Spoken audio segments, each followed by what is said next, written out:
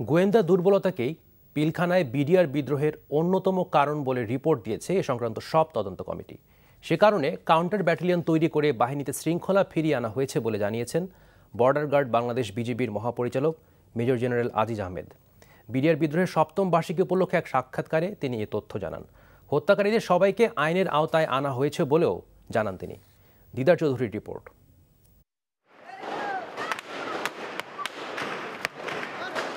দু হাজার নয় সালের পঁচিশ ও ছাব্বিশ ফেব্রুয়ারি রাজধানীর পিলখানায় বিডিআর সদস্যদের বিদ্রোহে এক নারকীয় হত্যাকাণ্ডের ঘটনা ঘটে। সেদিন বিডিআর জওয়ানদের হাতে বাহিনীটির মহাপরিচালক ও সেনাবাহিনীর সাতান্ন সেনা কর্মকর্তা সহ মোট চুয়াত্তর জন নিহত হন।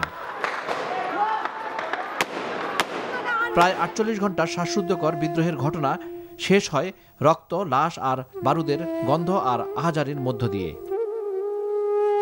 অথচ এই বাহিনীর গর্ব করার মতো আছে অনেক কিছু। মুক্তিযুদ্ধে সাত বীরশ্রেষ্ঠের মধ্যে আছেন এই বাহিনীর দুই সদস্য।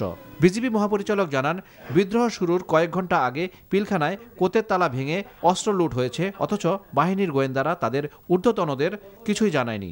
তখন যে রাইফেল সিকিউরিটি ইউনিট ছিল যেটা আরএস, তারা কিন্তু টোটালি কম্প্রোমাইজড হয়ে গিয়েছিল। কারণ এইখানে হলো গোয়েন্দাদের এফএসরা দাঁড়ানো ছিল, তারা দেখতেছে কোদ ভাঙতেছে, তারা সব কিছু দেখতেছে, তারা কোনো হলো ইনফরমেশন দেয়নি। ঠিক আছে না? কোথায় হলো যে পাঁচ নম্বর গেটের বাইরে যে হলো, তারা হলো বিভিন্ন জায়গায় মিটিং করতেছে, কোনো কিছু দেয়নি।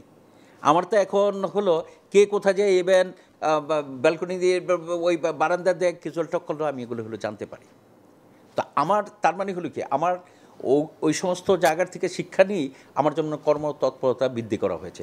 রোমর্শক সেই হত্যা ও বিদ্রোহের ঘটনায় বিচারিক আদালতে বিচার শেষ হয়েছে। নিজেদের কর্মকর্তাদের খুনের দায়ে একশো বাউন্ন বিডিআর জওয়ানকে মৃত্যুদণ্ড দিয়েছে বিশেষ আদালত। যাবজ্জীবন কারাদণ্ডের রায় হয়েছে একশো একষট্টি জনের বিরুদ্ধে। এছাড়া দুশো বাষট্টি বিডিআর সদস্যকে বিভিন্ন মেয়াদে সাজা দেওয়া হয়েছে। খালাস পেয়েছে দুইশো একাত্তর জন। বিজিবি মহাপরিচালক জানান, বিশেষ আদালতের রায়ের বিরুদ্ধে আপিলে শুনানি চলছে হাইকোর্টের বিশেষ বেঞ্চে।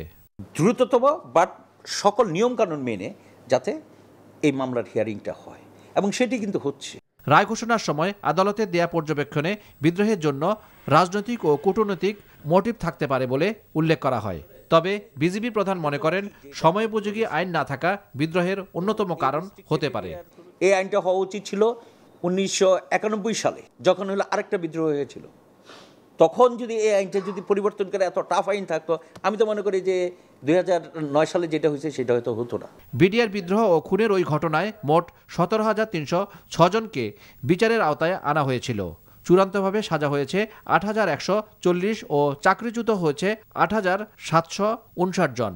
আর অপরাধ প্রমাণ না হয় খালাস পেয়েছেন চারশো সাত জন।